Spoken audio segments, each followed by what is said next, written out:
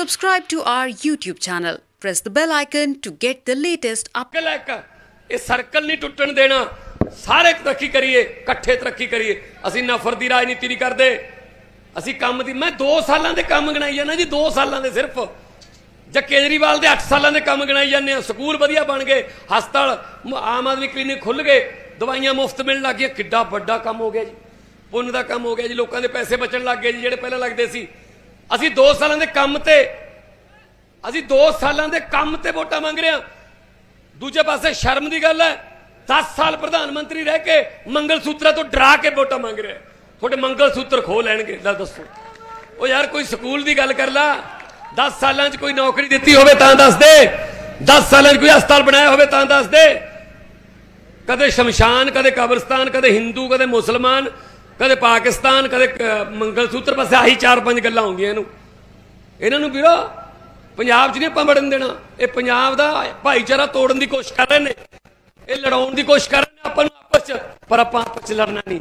ਕਿਉਂਕਿ ਆਪਣੀਆਂ ਈਦਾਂ, ਆਪਣੀਆਂ ਸੰਗਰਾਂਦਾਂ, ਆਪਣੀਆਂ ਰਾਮਨੌਮੀਆਂ, ਆਪਣੀਆਂ ਹਨੂਮਾਨ ਜਯੰਤੀਆਂ, ਆਪਣੀਆਂ ਕ੍ਰਿਸਮਸਾਂ ਤੇ ਆਪਣੇ ਗੁਰਪੁਰਬ ਸਾਂਝੇ ਨੇ ਵੀਰੋ, ਆਪਾਂ ਸਾਰੇ ਇਕੱਠੇ ਮਨਾਉਂਦੇ ਆ ਇਹਦੇ ਵਿੱਚ ਆਪਾਂ ਤੇੜ ਨਹੀਂ ਪੈਣ ਦੇਣੀ। ਜੋ ਮਰਜ਼ੀ ਹੋ ਜੇ। ਇਹ ਵੋਟਾਂ ਵਾਸਤੇ ਪਾਉਂਦੇ ਆ। ਸਾਡਾ 20 ਰੁਪਈਆਂ ਦਾ ਲੰਗਰ ਗੁਰੂ ਨਾਨਕ ਸਾਹਿਬ ਨੇ ਐਫਡੀ ਕਰਾਈ ਸੀ 20 ਰੁਪਈਆਂ ਦੀ। ਉੱਥੇ ਕੋਈ ਦੇਖਿਆ ਥੋੜੀ ਜਾਂਦਾ ਕੌਣ, ਕਿਹੜੇ ਧਰਮ ਦਾ ਬਹਿ ਜਾ ਬਈ, ਰੋਟੀ ਵੈਗਰੂ ਦਾਲ ਵੈਗਰੂ ਪਾਣੀ ਵੈਗਰੂ ਜੋ ਮਰਜ਼ੀ ਖਾਓ ਉੱਥੇ। ਤੇ ਵੀਰੋ, ਉਹ 20 ਰੁਪਏ ਦਾ ਲੰਗਰ ਨਹੀਂ ਮੁੱਕਣਾ। ਦੁਨੀਆ ਭਰ ਚ ਕੋਈ ਆਫਤ ਆ ਜੇ, ਯੂਕਰੇਨ ਦਾ ਯੁੱਧ ਲੱਗ ਗਿਆ, ਤੁਰਕੀ ਚ ਆ ਗਿਆ ਭੁਚਾਲ, ਬਾਕੀ ਕੌਮਾਂ ਤਰੀ ਇੰਟਰਨੈਸ਼ਨਲ ਜਿਹੜੀਆਂ ਸੰਸਥਾਵਾਂ ਨੇ, ਉਹ ਪਹੁੰਚਣ, ਨਾ ਪਹੁੰਚਣ, ਸਾਡਾ ਲੰਗਰ ਪਹਿਲਾਂ ਲੱਗ ਜਾਂਦਾ ਜੀ ਉੱਥੇ।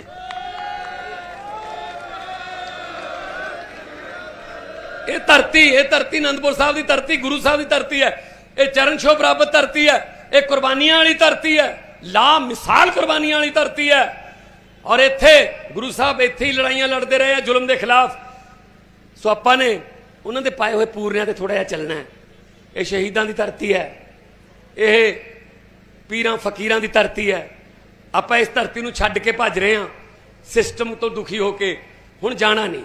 ਹੁਣ ਇੱਥੇ ਰਹਿਣਾ ਇੱਥੇ ਹੀ ਕੰਮਕਾਰ ਕਰੋ। ਮੈਂ ਪੰਜਾਬ ਦੇ ਨੌਜਵਾਨ ਮੁੰਡੇ ਕੁੜੀਆਂ ਨੂੰ ਨੌਕਰੀਆਂ ਮੰਗਣ ਵਾਲੇ ਨਹੀਂ, ਨੌਕਰੀਆਂ ਵੰਡਣ ਵਾਲੇ ਬਣਾਉਣਾ ਚਾਹੁੰਦਾ। ਤੁਸੀਂ ਫੈਕਟਰੀਆਂ ਲਾਓ, ਆਪਦੇ ਕੰਮ ਸ਼ੁਰੂ ਕਰੋ। ਸਰਕਾਰ ਤੁਹਾਡੀ ਹੈਲਪ ਕਰੂਗੀ। ਤੁਹਾਨੂੰ ਬਿਨਾ ਬਿਨਾ ਵਿਆਜ ਤੋਂ ਕਰਜ਼ੇ ਦੇਵਾਂਗੇ। ਜਦੋਂ ਕਮਾਉਣ ਲੱਗੇ ਉਦੋਂ ਹੌਲੀ ਹੌਲੀ ਕਰਕੇ ਮੋੜ ਦਿਓ। ਕੋਈ ਇਦਾਂ ਦਾ ਫਿਕਰ ਨਹੀਂ ਰੱਖਣਾ। ਸੋ ਵੀਰੋ ਚਾਹੇ ਬੇਰਕਾ ਹੈ, ਚਾਹੇ ਮਾਰਕ ਫੈਡ ਹੈ ਸਭ ਨੂੰ ਅਸੀਂ ਹੁਣ ਫਾਇਦੇ 'ਚ ਲੈ ਆਏ। ਇਹ ਘਾਟੇ ਵਾਲੇ ਸੌਦੇ ਸੀ ਪਹਿਲਾਂ। ਥਰਮਲ ਪਲਾਂਟ ਖਰੀਦਿਆ ਆਪਾਂ। ਸਰਕਾਰਾਂ ਕਦੇ ਖਰੀਦੀਆਂ ਹੁੰਦੀਆਂ। ਸਰਕਾਰਾਂ ਤਾਂ ਆਪਣੇ ਯਾਰਾਂ ਦੋਸਤਾਂ ਨੂੰ ਵੇਚ ਦਿੰਦੀਆਂ ਨੇ। ਘਾਟੇ ਦਾ ਸੌਦਾ ਕਹਿ ਕੇ ਆਪਾਂ ਬਿਜਲੀ ਖਰੀਦ ਲਈ। Thermal plant Goindwal GVK thermal plant ਉਹਦਾ ਨਾਮ ਸੀ। ਉਹਦਾ ਨਾਮ ਰੱਖਿਆ ਸ੍ਰੀ Guru Amardas. Thermal plant Goindwal Sahib. ਸ੍ਰੀ ਗੁਰੂ ਅਮਰਦਾਸ ਦੀ ਸਾਰੀ ਜ਼ਿੰਦਗੀ ਗੋਇੰਦਵਾਲ ਸਾਹਿਬ ਬੀਤੀ ਸਤੀ ਪ੍ਰਥਾ ਖਤਮ ਕੀਤੀ। ਤੇ ਲੰਗਰ ਦੀ ਪ੍ਰਥਾ ਸ਼ੁਰੂ ਕੀਤੀ ਉੱਥੇ ਉਹਨਾਂ ਦੇ ਨਾਂ ਤੇ ਥਰਮਲ ਪਲਾਂਟ ਬਣਾਇਆ 540 ਮੈਗਾਵਾਟ ਦਾ ਹੈ। ਹੁਣ ਇੰਡਸਟਰੀ ਦੀ ਬਿਜਲੀ ਵੀ ਸਸਤੀ ਕਰੂੰਗਾ ਜਦੋਂ ਇੰਡਸਟਰੀ ਦੀ ਬਿਜਲੀ ਸਸਤੀ ਹੋਗੀ ਨਾ ਸਾਰੇ ਦੇਸ਼ ਤੋਂ ਦੇਖੋ ਵੱਡੇ ਵੱਡੇ ਫੈਕਟਰੀਆਂ ਵਾਲੇ ਕਿਵੇਂ ਇੱਥੇ ਆਉਂਦੇ ਨੇ ਤੇ ਕਿਵੇਂ ਆਪਣੇ ਧੀਆਂ ਪੁੱਤਾਂ ਨੂੰ ਕੰਮ ਮਿਲਦਾ ਹੈ। ਸੋ ਮੈਂ ਮੇਰਾ ਇਹੀ ਮੇਰਾ ਇਹੀ ਟੀਚਾ ਹੈ। ਮੈਨੂੰ ਪੱਤਰਕਾਰ ਕਹਿੰਦੇ ਕਹਿੰਦੇ ਤੁਸੀਂ ਇੰਨੀ ਉੱਚੀ ਪਹੁੰਚ ਗਏ ਇੰਨਾ ऊंचाई पे चले गए मैं कहा अच्छा डर नहीं लगता मैं किस बात का ਕਈ ਨੀਚੇ ਆ ਗਏ ਤੋ। ਮੈਂ ਕਿਹਾ 40 40 ਫੁੱਟ ਡੂੰਘੇ ਬੋਰ ਦੇ ਟੋਇਆਂ ਚੋਂ ਆਏ ਹੋਏ ਆ ਜੀ। ਉਦੋਂ ਥੱਲੇ ਤਾਂ ਪਾਣੀ ਹੈ ਹੁਣ ਦੱਸੋ ਕੀ ਕਰੀਏ। ਸਾਨੂੰ ਨਾ ਉਚਾਈਆਂ ਤੋਂ ਡਰ ਲੱਗਦਾ, ਨਾ ਡੁੰਗਾਈਆਂ ਤੋਂ ਡਰ ਲੱਗਦਾ। ਡਰ ਲੱਗਦਾ ਬਸ, ਉਹ ਨੀਲੀ ਛਾਤਰੀ ਵਾਲੇ ਤੋਂ ਲੱਗਦਾ। ਉਹ ਕਿਰਪਾ ਕਰੀ ਰੱਖੇ, ਉਹ ਸਮਤ ਬਖਸ਼ੀ ਰੱਖੇ, ਉਹ ਬਲ ਦੇ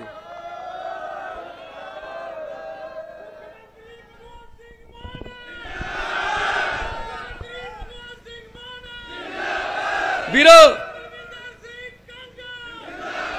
ਵੀਰੋ, ਮੈਨੂੰ ਪੱਤਰਕਾਰ ਨੇ ਪੁੱਛਿਆ ਕਿ ਜਿਹੜੀ ਕੁਰਸੀ ਤੇ ਤੁਸੀਂ ਬੈਠੇ ਹੋ, ਜਿਸ ਕੁਰਸੀ ਤੇ ਤੁਸੀਂ ਬੈਠੇ ਹੋ, ਇਸ ਕੁਰਸੀ ਤੇ ਬਹਿ ਕੇ ਵੱਡਿਆਂ ਵੱਡਿਆਂ ਦੇ ਦਿਮਾਗ ਖਰਾਬ ਹੋ ਜਾਂਦੇ ਆ। ਸਵਾ 2 ਸਾਲ ਹੋ ਗਏ ਤੁਹਾਡਾ ਦਿਮਾਗ ਕਿਉਂ ਨਹੀਂ ਖਰਾਬ ਹੋਇਆ?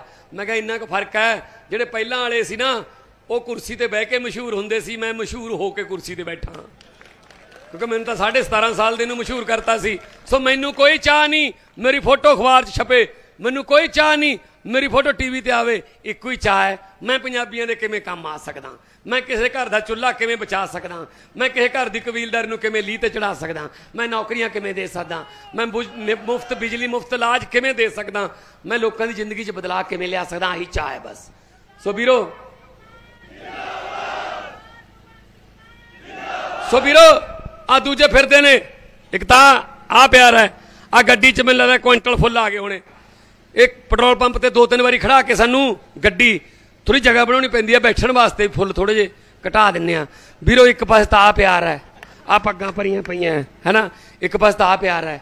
ਦੂਜੇ ਪਾਸੇ ਅਕਾਲੀ ਆ ਕਾਂਗਰਸੀ ਬੀਜੇਪੀ ਹਲ ਨੇ ਇਹਨਾਂ ਨਾਲ ਹੱਥ ਮਿਲਾ ਕੇ ਬਾਅਦ ਚ ਉਂਗਲੀਆਂ ਗਿਣਨੀਆਂ ਪੈਂਦੀਆਂ ਨੇ, ਲੈ ਗਏ, ਜਾਂ ਰਹਿ ਗਈਆਂ। ਹਾਂ। ਗੱਡੀ ਤੇ ਉੱਤੇ ਛੱਤ ਪਾਈ ਹੋਈ ਹੈ। ਉਹ ਹਾਂ, ਉਹ ਧੁੱਪ ਲੱਗਦੀ ਹੈ ਨਾ।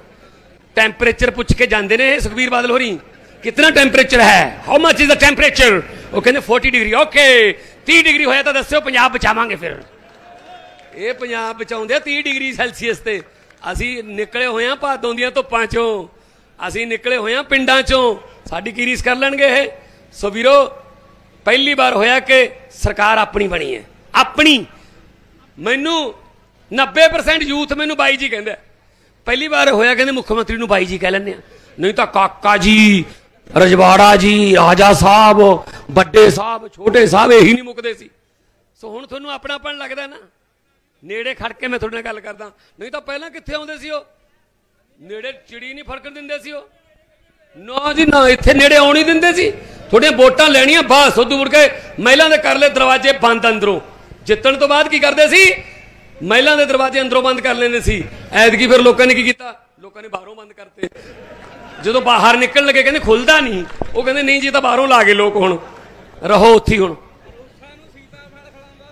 ਇੱਥੇ ਚੀਕੂ ਸੀਤਾ ਫਲ ਬੜੇ ਇੱਥੇ ਦੇਖੇ ਨੇ। ਮੈਂ ਤਾਂ, ਬਾਈ ਗੋਡ, ਜਿਹੜੇ ਘਰ 'ਚ ਉੱਥੇ ਰਹਿੰਦੀ ਸੀ, ਅਰੂਸਾ ਰਹਿੰਦੀ ਸੀ ਉੱਥੇ। ਮੈਂ ਤਾਂ ਸੁਖਮਨੀ ਸਾਹਿਬ ਦਾ ਪਾਠ ਕਰਾਇਆ। ਪਹਿਲਾਂ ਮੈਂ ਕਿਹਾ, ਪਤਾ ਨਹੀਂ ਕਿੰਨੇ ਪਾਪ ਹੋਏ ਹੋਣੇ ਇੱਥੇ। ਪੈੜਾ ਹੀ ਮਾੜਾ ਮੈਂ ਕਿਹਾ। ਹੋਰ ਨੈਗੇਟਿਵਿਟੀ ਭਰੀ ਪਈ ਹੈ ਨੈਗੇਟਿਵਿਟੀ ਸੋਫੇ ਬਦਲਾਏ ਮੈਂ ਤਾਂ। ਮੈਂ ਕਿਹਾ, ਇਹਨਾਂ ਸੋਫਿਆਂ ਤੇ ਬਹਿ ਕੇ ਬੜੇ ਗਲਤ ਫੈਸਲੇ ਹੋਏ ਹੋਏ ਨੇ।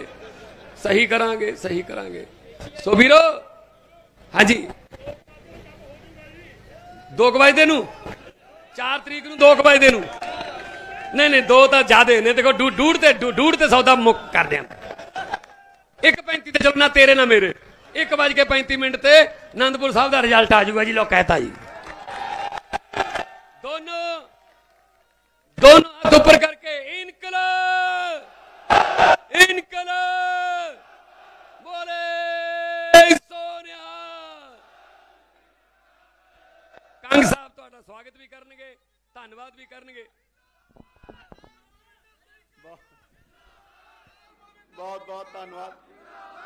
ਪੰਜਾਬੀਓ ਅੱਜ ਤੁਸੀਂ ਆਪਣੇ ਹਰਮਨ ਪਿਆਰੇ ਪੰਜਾਬ ਦੇ ਮਾਨਯੋਗ ਮੁੱਖ ਮੰਤਰੀ ਨੂੰ ਆਸ਼ੀਰਵਾਦ ਔਰ ਸੁਣਨ ਆਏ ਹੋ ਜਿੱਡੀ ਵੱਡੀ ਤਦਾਦ ਚ ਤੁਸੀਂ ਆਏ ਹੋ ਜਿਹੜੇ ਤੁਸੀਂ ਇੱਕ ਇੱਕ ਕਦਮ ਚੱਲ ਕੇ ਆਏ ਹੋ, ਸਾਡੇ, ਤੁਹਾਡੇ ਹਰੇਕ ਚੱਲਿਆ ਕਦਮ ਸਾਡੇ ਸਿਰ ਮੱਤੇ ਔਰ ਉਮੀਦ ਕਰਦੇ ਹਾਂ, ਇਸੇ ਤਰੀਕੇ ਨਾਲ ਤੁਹਾਡਾ ਸਾਨੂੰ ਆਸ਼ੀਰਵਾਦ ਤੁਹਾਡਾ ਪਿਆਰ ਹਮੇਸ਼ਾ ਮਿਲਦਾ ਰਹੂਗਾ।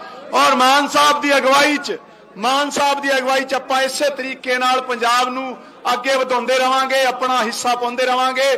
ਸਾਰੇ ਹੀ ਸਤਿਕਾਰਯੋਗ ਪਤਵੰਤਿਆਂ ਦਾ, ਮੇਰੀਆਂ ਮਾਵਾਂ, ਭੈਣਾਂ, ਨੌਜਵਾਨ ਸਾਥੀ, ਬਜ਼ੁਰਗੋ, ਵੱਡੇ ਭਰਾ, ਸਾਰਿਆਂ ਦਾ ਬਹੁਤ ਬਹੁਤ ਧੰਨਵਾਦ। ਖਰਮ ਆਏ ਸਾਰੇ ਬਾਜ਼ਾਰ ਦੇ ਸਾਰੇ ਸਤਿਕਾਰਯੋਗ ਪਤਵੰਤਿਆਂ ਦਾ ਧੰਨਵਾਦ। ਵਾਹਿਗੁਰੂ ਜੀ ਕਾ ਖਾਲਸਾ, ਵਾਹਿਗੁਰੂ ਜੀ ਕੀ ਫਤਿਹ।